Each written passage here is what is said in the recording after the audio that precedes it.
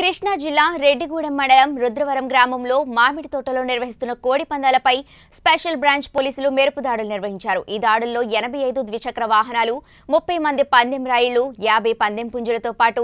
రెండు లక్షల తొంభై ఏడు వేల నగదును స్వాధీనపరుచుకుని రెడ్డిగూడెం పోలీస్ స్టేషన్ కు తరలించారు అనంతరం నిర్వహించిన మీడియా సమావేశంలో డీఎస్పీ బి శ్రీనివాసులు మాట్లాడుతూ ఎటువంటి జోదా నిర్వహణను డివిజన్ పరిధిలో ఉపేక్షించబోమని అతిక్రమించిన వారిపై కఠిన చర్యలు తీసుకుంటామని హెచ్చరించారు ఈ దాడిలో పాల్గొన్న సిబ్బందిని చేశారని ఆయన అభినందించారు ఈ దాడులలో కోడి పందాలు నిర్వహిస్తున్న మామిడితోట యజమాని వేణుగోపాల్ రెడ్డి అలియాస్ గోపిరెడ్డిని అదుపులోకి తీసుకుని కేసు నమోదు చేయనున్నట్లు డీఎస్పీ తెలిపారు